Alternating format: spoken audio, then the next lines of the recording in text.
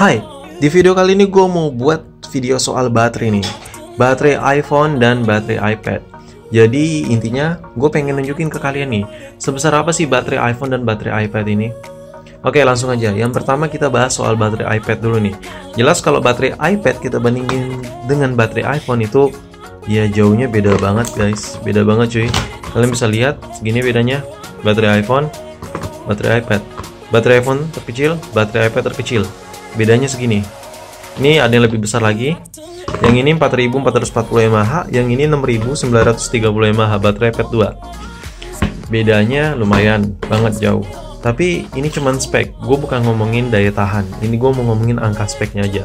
Nah yang kedua gue pengen compare dengan antara iPad dengan iPhone itu nggak bisa di compare mana yang lebih irit karena mereka tuh beda pemakaian beda multitasking ya. Jadi yang kedua gue mau bahas soal baterai iPhone nih. Gue mau nanya nih ke kalian ada yang tahu gak baterai iPhone paling besar yang mahanya tuh iPhone berapa? Ada yang tahu? Kalau ada yang tahu hmm, mungkin kalian benar-benar iPhone user. Nah jadi baterai iPhone terbesar adalah 6 Plus. Kenapa 6 Plus? Kalian ada yang percaya? Ada yang percaya bahwa baterai paling besar adalah iPhone 6 Plus atau ada yang bisa jawab kenapa 6 Plus? Kenapa bukan 7 Plus? Kenapa bukan 8 Plus? Kenapa bukan 6S Plus? Nah, mari kita lihat datanya. Ini bukan kata gue ya, kata data dan data ini kata spek langsung dari Apple. Nah, untuk baterai iPhone 6 Plus itu 2915 mAh. Nah, kalian bisa lihat di sini baterai iPhone 6 Plus 2915 mAh kalian kelihatan. Nah untuk baterai 6s plus cuman 2750 mAh kita makin baru lagi. Untuk baterai iPhone 8 Plus cuman 2675 mAh nah kenapa sih makin kecil? Makin baru malah makin kecil guys. Ada yang tahu? Kenapa iPhone makin baru makin kecil baterainya Kenapa yang paling besar tuh baterai iPhone 6 Plus padahal baterai padahal iPhone 6 Plus itu udah tergolong old iPhone. Udah salah satu HP yang sudah kategori tua, sudah berumur. Tapi kenapa yang megang mAh terbesar kategorinya masih 6 Plus harusnya varian makin besar, varian makin baru maksud gua makin besar mAh baterainya seperti Android, mAh makin iPhone makin HP-nya makin baru, makin besar mAh-nya. Jadi yang pertama iPhone meskipun mAh-nya berkurang, setiap mereka keluarin produk baru, itu mereka upgrade-nya itu nggak hanya hardware aja, tapi software aja. Jadi antara software dan hardware itu dicocokkan sehingga kinerja baterainya itu lebih irit, jauh lebih irit. Nah itu yang pertama. Soal kedua dari sisi hardware ya, kenapa makin irit? Karena kita ambil contoh iPhone 7. Nah, karena iPhone 7 iPhone 6s ke atas, contohnya 6s dan seterusnya dan 7 dan 8 dan iPhone 10. iPhone 10 kalian ada yang tahu berapa mAh-nya? iPhone 10 baterainya cuma 2716 mAh. Nah, iPhone 10 itu baterainya ada dua piece. Nah, kalau digabung keduanya itu 2716 mAh. Kenapa nggak bisa lebih besar dari 6 Plus? Dan kenapa tetap 6 Plus paling besar dibandingkan iPhone-iPhone terbaru? Karena yang pertama, gue kasih contoh, di iPhone ini, misalnya iPhone 7, itu udah ada teknologi 3D Touch yang ngebuat baterai itu nggak bisa besar. Kenapa? Karena 3D Touch itu mem memakan space di dalam iPhone. iPhone misalnya tipisnya segini, taruhlah anggaplah 8 mili. Nah, untuk LCD-nya aja 3D Touch 3 mili tebalnya. Alhasil space tebal baterainya itu berkurang. Nah, kalian tahu kenapa 3D Touch memakan space? Kita ambil langsung LCD iPhone 6s. Nah, ini LCD iPhone 6s, dia ada teknologi 3D Touch. Ada teknologi 3D Touch sehingga tebalnya itu semakin tebal karena ini LCD udah ditambah LCD, ditambah backlightnya, ditambah lagi teknologi 3D Touch. Jadi ini sensor 3D Touch-nya, jadi ini makin tebal.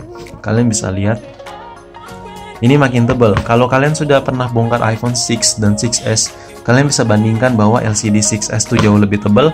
Alhasil, itu space antara baterai dan LCD itu semakin sempit. Alhasil Apple mengecilkan mAh-nya sedikit saja. Sehingga tebal baterainya itu lebih tipis dibandingkan 6 Plus biasa dengan 6s.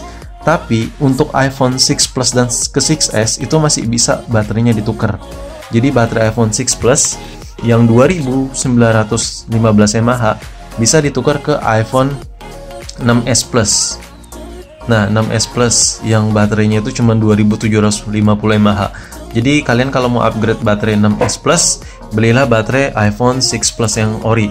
Dan kalau mau dapetin yang ori, itu tersedia cuma copotan dan kalau buat copotan itu kalau nggak salah eh, kesehatannya cuma 98% kalau nggak salah paling bagusnya nah jadi kenapa semakin baru semakin tipis eh, MAH-nya karena kedua hal tersebut karena MAH itu buat iOS nggak menjamin awet enggaknya karena semakin banyak uh, bugs di software tersebut semakin banyak baterai yang terserap. Semakin banyak aplikasi yang dijalankan, semakin banyak baterai terserap. Semakin banyak memori yang disimpan, semakin banyak baterai yang terserap. Jadi di situlah uh, insinyur-insinyur Apple mungkin sudah mengetes kenapa bisa segini, kenapa bisa segini. Nah, semoga informasi ini bermanfaat buat kalian. Oh ya, satu lagi nih guys, satu lagi. Sekalian nambah informasi aja, misalnya kalian beli baterai iPhone nih, kita ambil contoh hmm, iPhone 6 saja, kita ambil contoh iPhone 7 nya belum gue bongkar jadi iPhone 6 aja Nah, maksud gue iPhone 7 nya baterainya masih original jadi kita ambil iPhone 6 nya aja. Kebetulan ini iPhone 6 gue ini baterainya udah tak ganti. Bukan yang originalnya lagi. Nah tadi di data tadi itu kelihatan bahwa iPhone 6 originalnya itu datanya itu 1800 mAh 1810 mAh kalau nggak salah.